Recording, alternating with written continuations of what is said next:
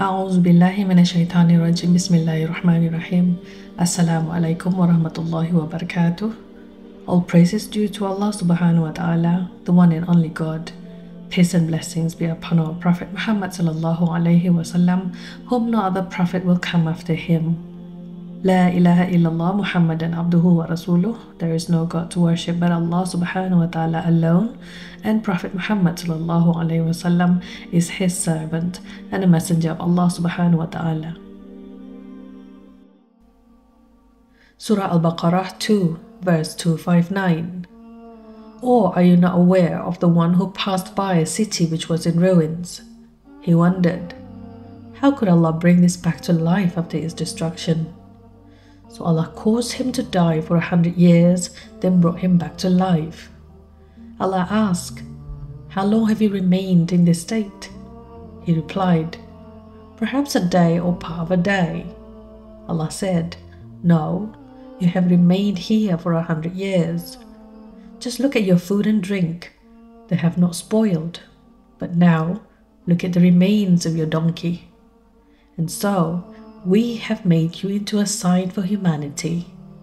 And look at the bones of the donkey, how we bring them together, then clothe them with flesh. When this was made clear to him, he declared, Now I know that Allah is most capable of everything. Hafiz Abu Qasim ibn Asakir said, He was Uzair ibn Jarwah. It is also said he was Ibn Surik Ibn Adiyah, Ibn Ayub, Ibn Darzana, Ibn Ari, Ibn Taki, Ibn Usbu, Ibn Fanhaz, Ibn Al-Adhir, Ibn Harun. Others also said that he was Uzair ibn Sarukah. It is said that his grave is in Damascus. Ishaq ibn Bishar reported that Ibn Abbas radiallahu anhu and many others said that Uzair was a pious and wise man. Ibn Asakir narrated on the authority of Abu al-Qasim al-Baghawi that Ibn Abbas said, I do not know whether Tubba was a cursed one or not, and I do not know whether Uzair was a prophet or not. Or are you not aware of the one who passed by a city which was in ruins up to its roofs? Mujahid ibn Jabbar said that the ayah refers to a man from the children of Israel and the village was Jerusalem after Nebuchadnezzar destroyed it and killed its people. Allah subhanahu wa ta'ala's statement, ruins up to its roofs, indicates that the roofs and walls of the village fell to the ground and it became empty of people. One day, Uzair went out to look after some of his properties, and when he finished, he passed by a ruined place. It was noon and the heat was severe and he was scorched by the blazing sun. He entered that ruined place. He had with him his donkey and a basket of figs and a basket of grapes. He descended where he found some shade. He took out a bowl and squeezed grape juice in it. Then took some dry bread and placed it in the juice in order to make the bread moist and eat it. After he finished with his food, he lay down on his back and propped up his leg on the wall and then looked around the ruins of that place. Uzair stood contemplating about what had happened to that city after a great civilization used to inhabit it.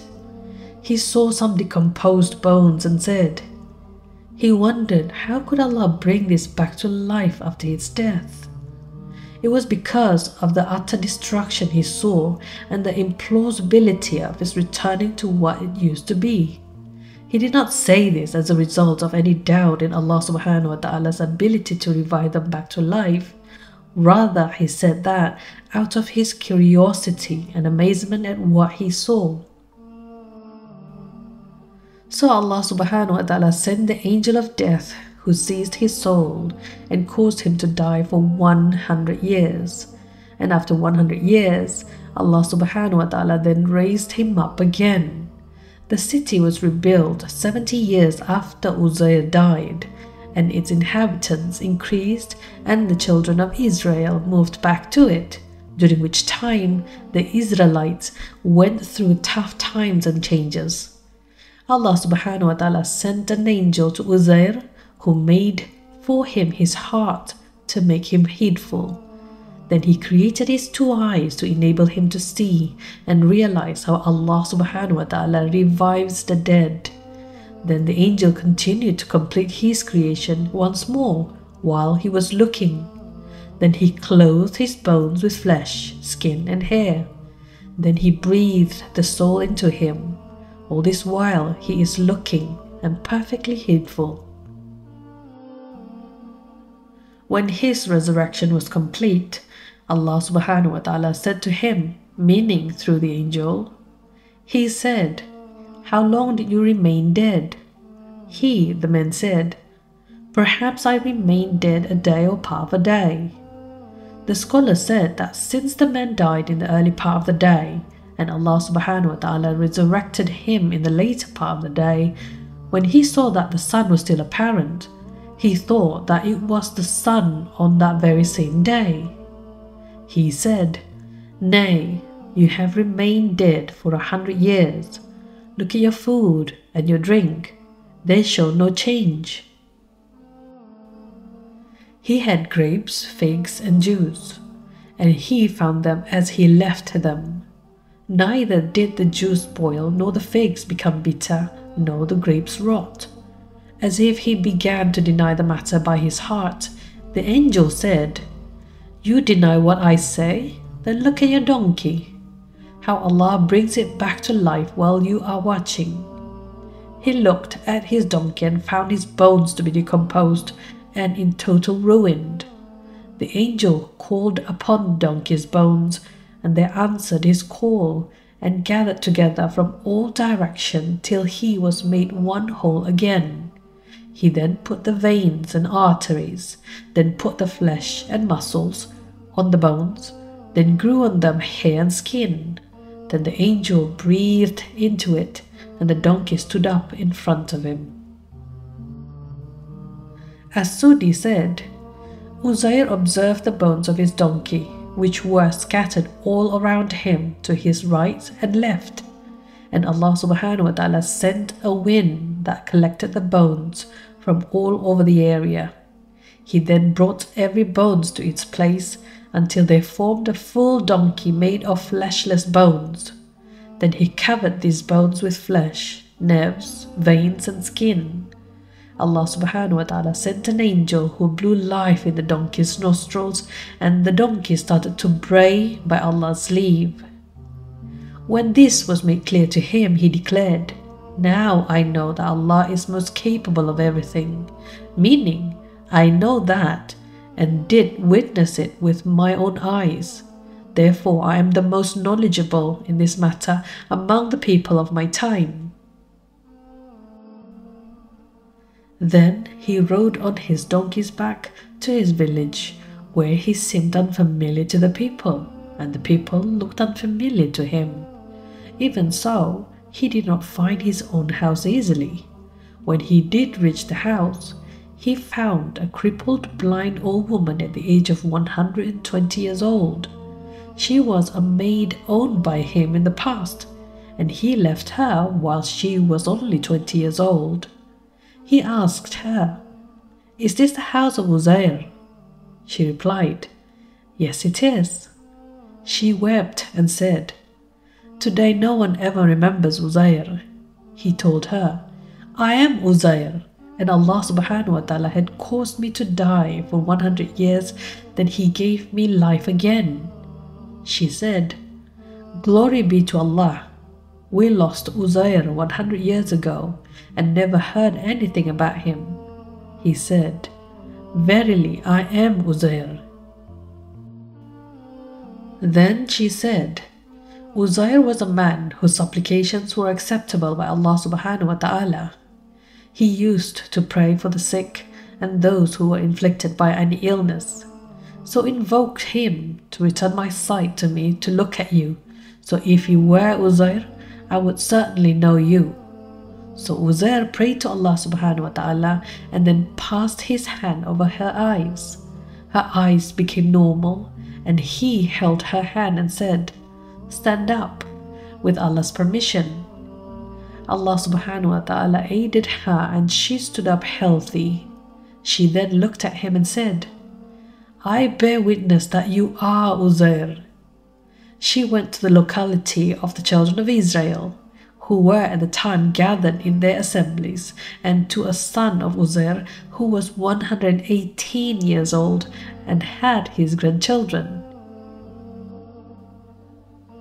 She called out to them, saying, This is Uzair, he has come back to you.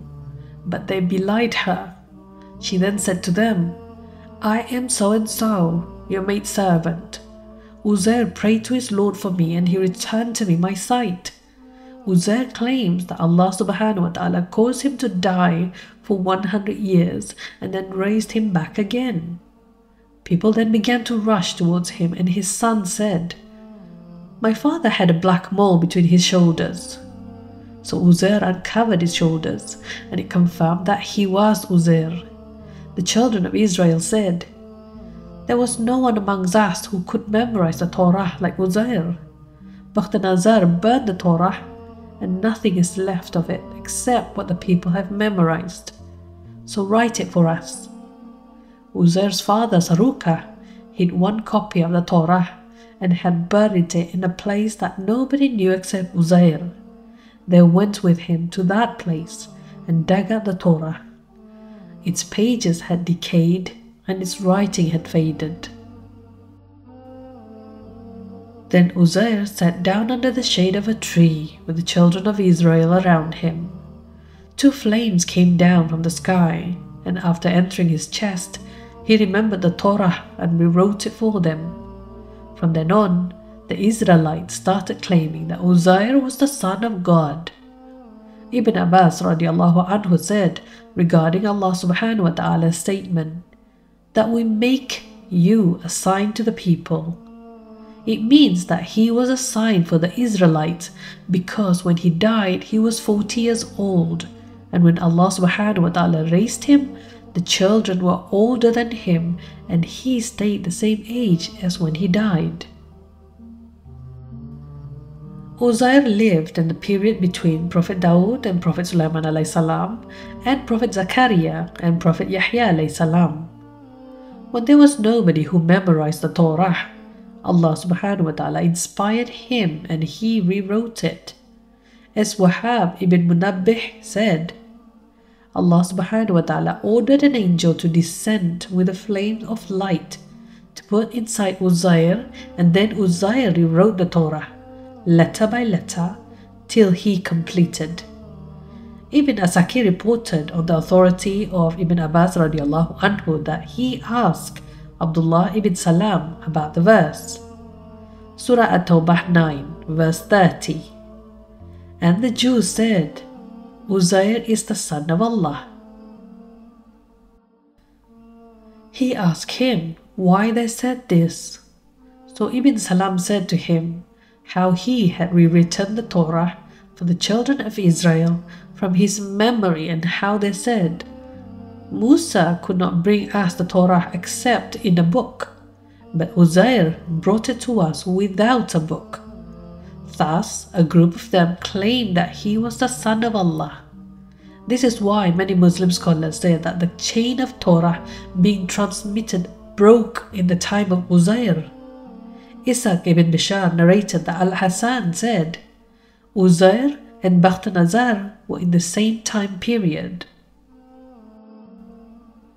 In Sahih al-Bukhari, narrated by Abu Hurairah radiallahu anhu, I heard Allah's Messenger sallallahu alaihi wasallam saying, I am the nearest of all the people to the son of Maryam, and all the prophets are paternal brothers, and there has been no prophet between me and him, Yani Isa alayhi salam. Wahab ibn Munabbih said that he was between Prophet Sulaiman alayhi salam and Prophet Isa alayhi salam.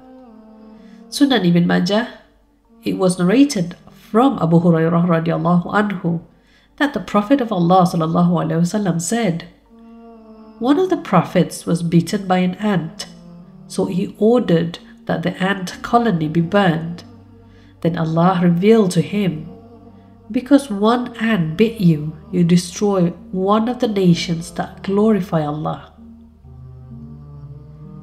Today's story is extracted from several books from Imam Ibn Kathir, stories from the Quran, stories of the Prophet, and Tafsir Ibn Kathir, Volume 2. Wallahu alam bisawab. Ya Allah, please teach us knowledge that is beneficial to us. Let us take advantage of the knowledge that you pour onto us. Please give us knowledge, good deeds, and sincerity in our lives. May we receive mercy and guidance from you, Ya Allah.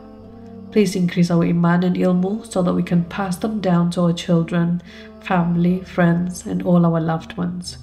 Until my next video, inshallah, please take care and be kind to one another.